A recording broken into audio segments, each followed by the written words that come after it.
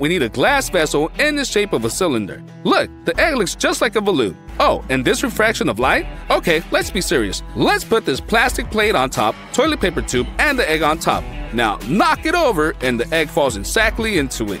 Now, three eggs. How about five? Easy?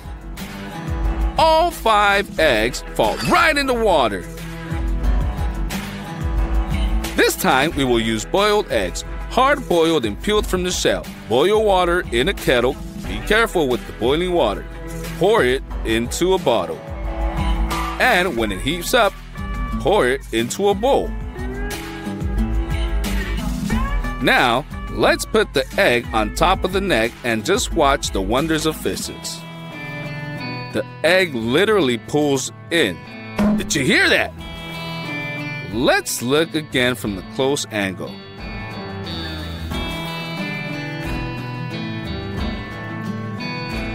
Egg goes in the bottle. The same trick can be done with the burning piece of paper. The fire will burn all the oxygen inside and the egg will be drawn inside even faster. For the next experiment, I got this aquarium. How's the view? Fill the aquarium with water almost to the edge. And now we break the raw egg inside. It immediately goes to the bottom, but it's not as simple as that. Using our fingers, we create a funnel in the water and the white egg makes it visible. Just look, it's a real egg tornado.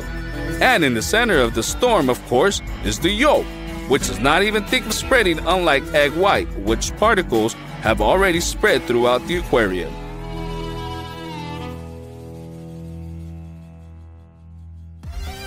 For the next experiment, we'll need an empty shell, but first, I'll show you how to make it. To begin with, you will need two small holes on opposite side of the egg. Now, let's take a plastic bottle and make a hole in the bottom. Fill it with water, which immediately begins to flow through the hole. But for now, we'll plug it with the finger.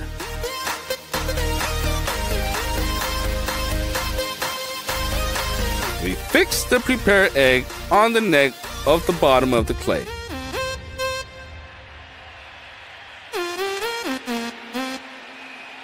And now you remove the finger from the bottom of the bottle and watch how the pressure will put out the entire contents of the egg, like this. Rinse the shell in water and to remove the remaining moisture, blow into one of the holes.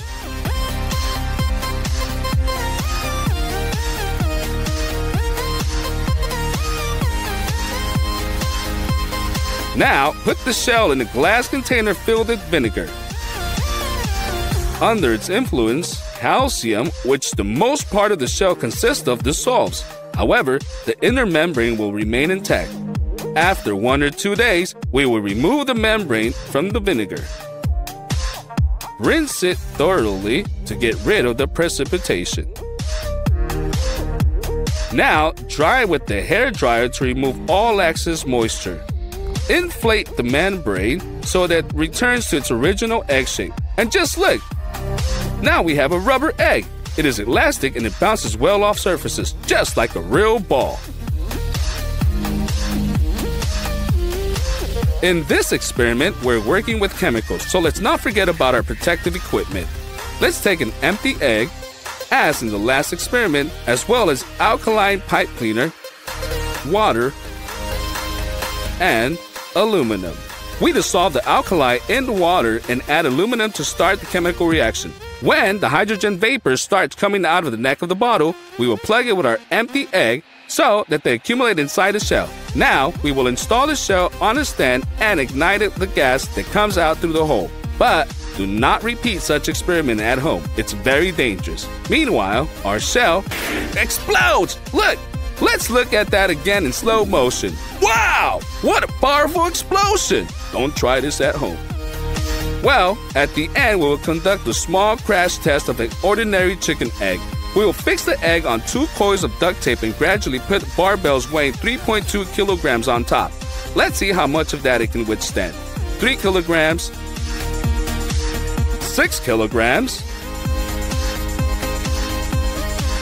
9 kilograms. Wow! I didn't think it could withstand so much. 12.8 kilograms. Meanwhile, the weight is as much as 16 kilograms.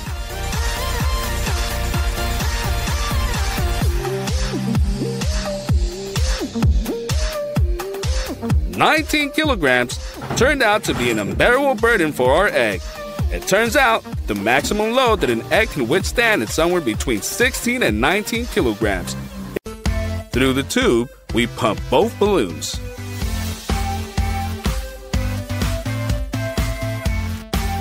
One bigger than the other. Fix the dispensers in the non-venting position. Now, let's combine the balls into one by connecting the two. Let's open the way for the air and see what happens. The bigger balloon takes the air out of the smaller one. Admit it, you're surprised too. When repeating the experiment, the result is the same. The bigger ball will always only grow, and the smaller one will always deflate. Now, we need a fresh orange peel, from which citrus oils can still be squeezed out.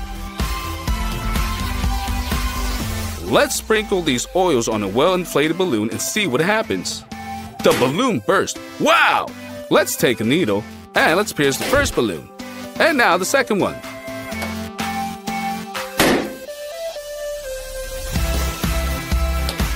The balloon still bursts with the delay, so what is the secret? It's all about the usual tape. Cut off a small piece of tape and stick it to the surface of the balloon. Now, after the puncture, just for a while, the tape protects the balloon from the bursting. And now let's do it again. We pierce the ball, wait a little bit more than a second, boom! Now, we have a board with the sharp nail on the table. Hit it with the balloon and BAM!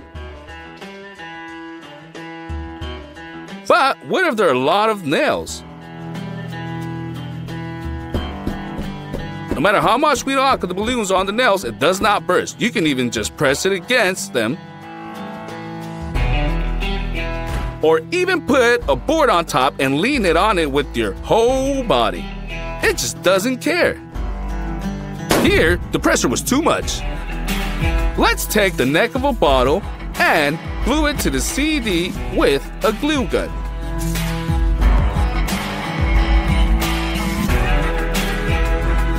Now, pull a well-inflated balloon over the neck.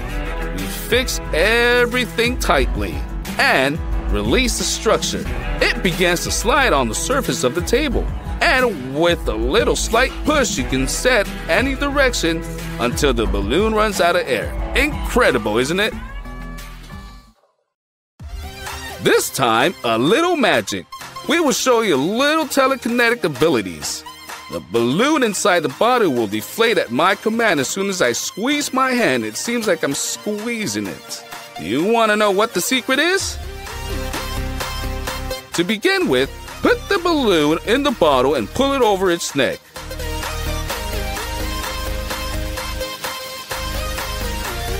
Now, let's make a small hole in the bottom. Inflate the balloon, covering the hole with your finger. And once you release the hole, the ball will immediately begin to deflate. What a trick! And here's another trick for you. Watch out for that air bubble. I'm gonna grab it, and now put it back in place with a little light movement. Not impressed? What if I eat it? Even after that, I can put it back. You think it's in your hands? I can just spit it out. Well, now I'll show you what the secret is. Take the long balloon and stretch it well in two places. Now let's add some air. Spin the ball. Now, if we click on this air bubble, it will immediately move to the middle and then back again. That's the whole secret. And here's an incredible new trick. Now I'm gonna swallow this balloon. Don't you believe me? Just watch. The main thing to do, everything is smoothly, and let the balloon disappear in my mouth. Well, there are no problems with the remaining tail. What? Mmm, it's delicious. Do you want to know how I did it? To begin with, pump the balloon, leaving a small tail. Tie it and make a small hole And that's the whole secret.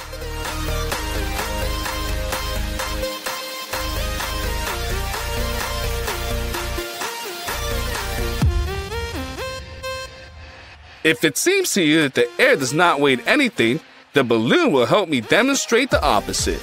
Take a suspended stick and attach two identical balloons on both ends of it.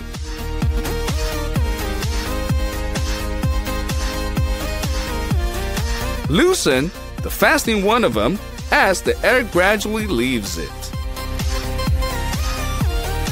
Now, you can observe how our improvised scales are gradually leaning towards a more inflated balloon, which means that the air still weighs something.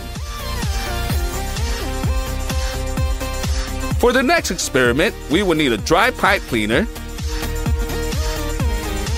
water, and aluminum. We're conducting this experiment outdoors to avoid inhaling dangerous fumes. We put a balloon on the neck of the flask, and with the beginning of the chemical reaction, it will quickly begin to fill with gas. Let's tie the balloon, which is lighter than air.